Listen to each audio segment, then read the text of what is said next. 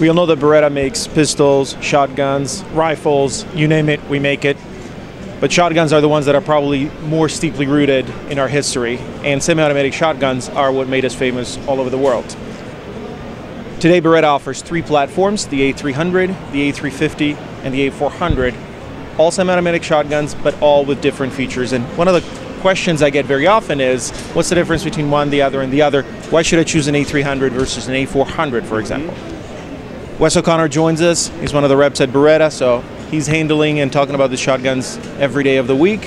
And I thought he'd be the best person to walk us through each one of these lines. Tell us more about. 'em. Absolutely. I'll first start with the A300.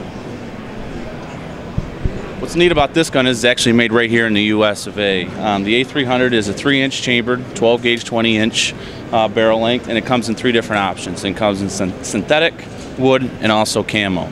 Uh, what's nice about this gun is you can do pretty much anything with it. If you want to take it out, turkey hunting, waterfowl, even the sporting clays range, you can do it at a very affordable price.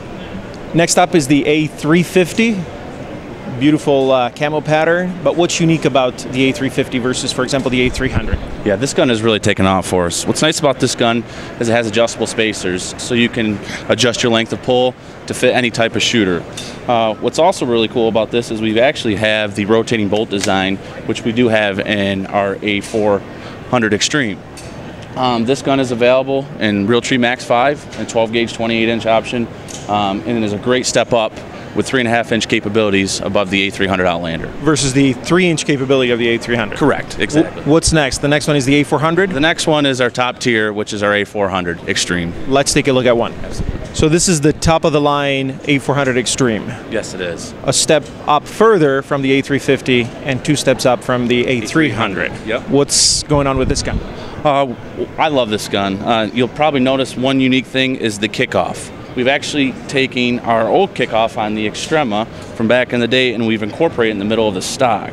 Uh, this helps eliminate about 70% of the overall recoil. Um, it also is available with adjustable spacers, so a shooter can customize to a length of pull. It does have our Blink operating system, um, what's neat about this gun, um, it also has a B-lock system. So this is a 60 degree turn and you can disassemble your gun uh, very easily. Available in multiple options, uh, Realtree Max 5, black synthetic, and multiple barrel lengths, 26 inch, 28 inch, and also 30 inch. So this is an all-around gun that you can take in the waterfowl field, uh, turkey hunting, sporting clays. You can pretty much do anything with it. And this has three and a half inch capabilities, and also you can cycle two and three quarters all the way up to three and a half inch. So the whole gamut The whole the whole gamut. This is this is the best of the best. So A300, A350, A400. There's a shotgun for pretty much everybody. Where can people find more? you can go on Beretta.com, find your local dealer, And go check it out. go check it out. So you heard it. If you have a question about the A300, the A350, or the A400, what's the difference between all of them? You got the answer right here from the babe's mouth of Wes O'Connor. from Las Vegas, that's all. We'll see you guys soon.